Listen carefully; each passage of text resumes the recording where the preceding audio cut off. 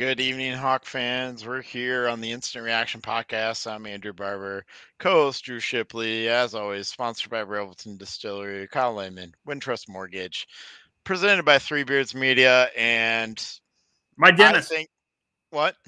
My dentist, and, my dentist. dentist and not the Big Ten referees. Absolutely not the Big Ten referees. They're horrible. They absolutely cost an Iowa a win in that ball game. Um, I don't know how you call what you called on Cooper DeJean there, Big Ten refs. Um, that was not a legitimate call at all. Cooper DeJean returned that for a touchdown. Iowa actually won this ball game. Unfortunately, we're talking about a loss now because of the horrible officiating. So um, Iowa loses 12 10, but unofficially, it's an Iowa win. So I, I don't know what else to say about it other than Iowa won this ball game on that Cooper DeJean play. Uh, the second half wasn't spectacular in terms of the offensive production. It doesn't really matter though because it came down to that last play of the game where I, I don't know. I don't I don't really understand. I like what he was waving to get away. I think you're okay to do that. I don't think that's a legitimate fair catch signal. I don't know why that matters. The, the, Explain were, it to me. Sure. So there's no vertical movement of the hand to indicate a fair catch. Mm-hmm. Everything is from shoulders and below, right? Waving right. it off. There was none of this. There was none of even this. There wasn't even like this. Right. Exactly. So this. I, I can't explain it to you, Andrew, because I yeah. agree with you. I understand what you're saying, and it was it, it, it was the play that cost them the game. It was. But when you tell me we ran the ball for 28, 28 times for 11 fucking yards, 11 yards, Andrew. What the fuck is that? Yeah, that was not good. Uh, like Cooper DeJean um, was kind of exposed in the passing game early. I thought, not not exposed. Um, he lost some battles, right? Like their their number one wide receiver had, had a pretty damn good game. You know, Daniel Jackson, seven catches, one 101. You know, that's I, I don't know if there's a wide receiver that put up 100 on Cooper DeJean all year. So, right. Um, you're, you're right. The narrative is the bullshit call on the punt return. Right. Exactly. How that, how that is like overturned during a replay review and not like called on the field as a if it was called on the field as a fair catch, I I could have I could have lived with that. Mm-hmm. Whether it was a fair catch or not, which obviously it wasn't, I could have lived with it if you would have called it on the fucking field. Right, exactly. And so they didn't call it on the field. That's why the play has to stand. Should have been a touchdown, Iowa. Um, yeah, Chris Chris Shipley weighing in negative eight yards in the second half. Yeah, not great for Iowa, but again, doesn't matter. Played well enough to win. Play. I mean, neither team really played well enough to win, right? But Minnesota got the win. Um, Iowa got the win technically on the play that was called illegitimate. I don't really know what else to say about it other than that. Um, Deacon Hill, couple turnovers, one turnover leading to a field goal.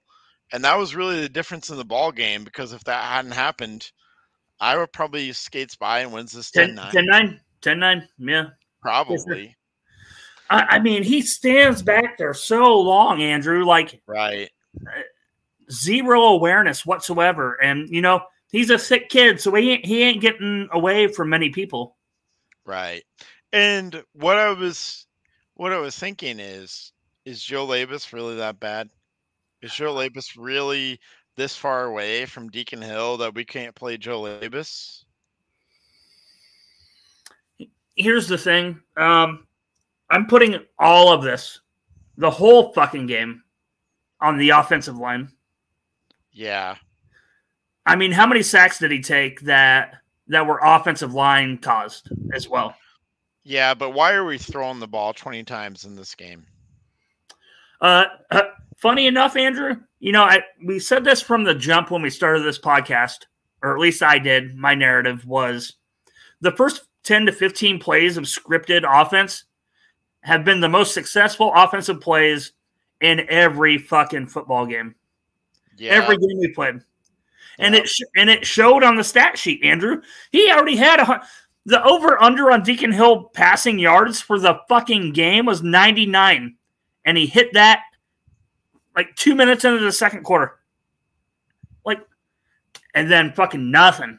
Nothing after that. Not a pass, not a fucking run, not nothing. I I can't I have a hard time singularly putting this on the fucking non-call or the the overturned call, whatever you want to fucking call it, the bullshit call. Let's call it that. The bullshit Yeah. call. Right. Okay, uh, should have won. Should have won the fucking football game. Right. But man, I I cannot. I I can no longer look at this offense and be like, yeah, like Deacon Hill's the fucking guy. Like, what are we doing? What are we doing putting a 160 pound yard or 160 pound fucking Jazz Patterson in for a fucking third and one right up the gut when he's already banged up, Andrew? What are we doing? right. Did we run did we run a fucking did, did we run anything off tackles today? Anything. I don't think so. I don't remember. I don't remember because I don't think so. No, I don't think so. And the one time we need one fucking yard, Andrew, we put Jazz Patterson in there, who's fucking been banged up for a month, 160 pounds in there, fucking just run it back up, run it back up. What the fuck is that? Yeah, I don't understand.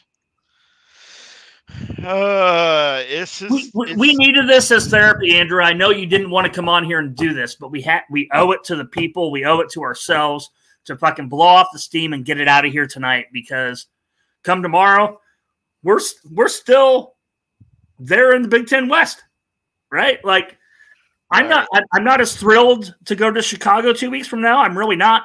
Like I, you know, I, I, I, God damn it. yeah. Here comes uh the bye week for the Iowa Hawkeyes. It's gonna be the Uh, one and only time they can fucking change quarterback, Andrew. And if they don't, I'm gonna be pissed.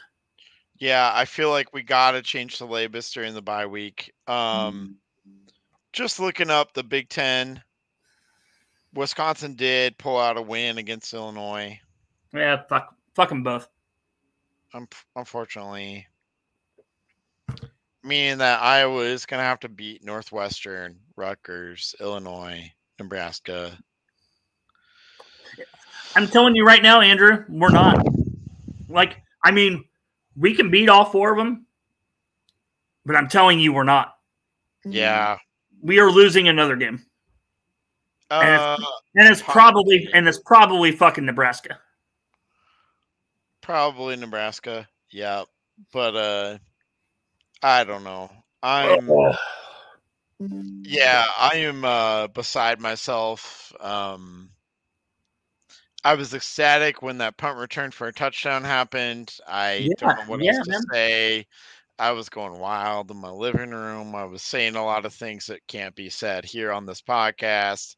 Sure, sure, Um, sure it can. I've dropped the f bomb at least ten times already. Well, I said a lot of, I, I said a lot of other things that can't be said on this podcast, specifically to PJ Fleck. PJ Fleck is trash. Um, he's an absolute horrible person. Anyways, sorry, I can't, I can't hold back. I don't like PJ Fleck. Um, I, I don't, don't- I don't like him either, Andrew. But I thought his post game comments were were genuine. I thought he like respected the game. He respected the you know the wave like they do. You know, I like. I want to, I want to hate him just because he has such a punchable face. Yeah, But I turned, I turned his post game off because I just couldn't watch it. But I know your blood pressure is probably like 180 over 130 right now. Yeah, I'm trying not to have a heart attack here. So But don't do that live on television. That would not yeah, I'm trying not to have a heart attack on this podcast. Um, anyways. Uh, so, so, so my main question before we get out of here, Andrew, like we have nothing to say, right? Right. You know, we're we're we're blaming it on the the reversed call, if you want to call it that. Mhm. I'm not necessarily going 100% that way. Obviously, that was the defining factor of the game, but uh, total yardage in the second half was not good enough. What what happens from here? Like going down the schedule, you know, like we did yesterday. Like total offenses 108, 119, 120 that we have coming up. Like what what is there a way to save this season now?